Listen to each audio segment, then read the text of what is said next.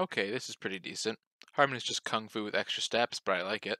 Thankfully, I this is just a prequel for the next part. Yo, Joseph is awesome. Glad he banged the maid instead of his mom, though.